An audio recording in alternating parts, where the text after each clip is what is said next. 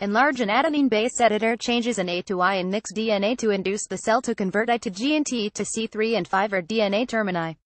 Credit adapted from nature. Many diseases, such as sickle cell anemia, are caused by single base mutations in genomic DNA.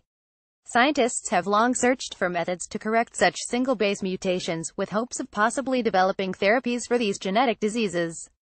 Last year David Arlo of Harvard University and coworkers developed a technique called base editing that fixes some single base mutations. The method changes a cytosine guanine CG base pair to a thymine adenine top pair Nature 2016, DOI 10.1038 Nature 17946 and CEN, April 25, 2016, page 5. A major missing capability was the ability to go in the opposite direction by transforming it to GC. Lea's group has now closed that circle by developing adenine base editing Nature 2017, DOI 10.1038 Nature 24644. Base editing uses a component of the popular genome editing technique CRISPR, but it has some advantages over the standard CRISPR method. CRISPR is ideal for inserting and deleting DNA sequences at targeted locations in a genome, but base editing has the edge for single base changes. That's because base editing is significantly more efficient than standard CRISPR at making single base substitutions. Also, base editing makes far fewer unwanted base insertions and deletions, called indels, which could lead to side effects in therapeutic applications. The fundamental mechanistic difference between the two methods is that standard CRISPR cuts double-stranded DNA straight through, which can lead to indels, whereas base editing modifies DNA strands directly without making such cuts. Liu and coworkers developed last year's base editor by combining three proteins acetidine deaminase, a natural enzyme that converts C to uridine U a mutated Cas9 CRISPR enzyme that doesn't cut DNA but uses an associated guide RNA to target specific DNA sequences and a protein that prevents reversion of U back to C after the acetidine deaminase changes C to U. The base editor nicks the strand opposite the modification to induce cellular machinery to replace G with A and change U to T. Labs around the world have used this type of base editing to correct or install point mutations in a wide variety of organisms, including bacteria, fungi, rice, wheat, corn, tomatoes, fish, and mice.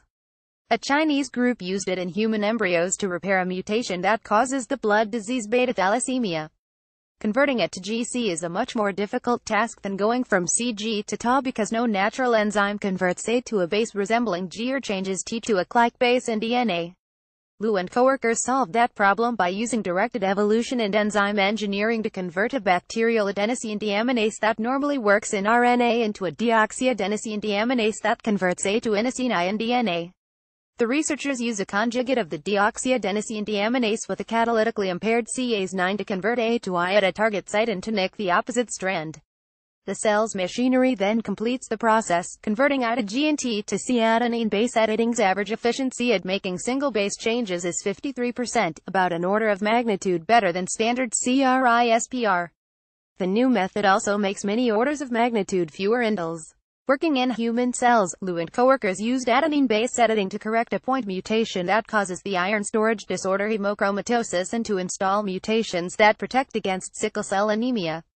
Adenine base editing is a really exciting addition to the genome engineering toolbox, comments Feng Zhang of the Broad Institute of MIT and Harvard, whose group pioneered the use of CRISPR for mammalian genome editing.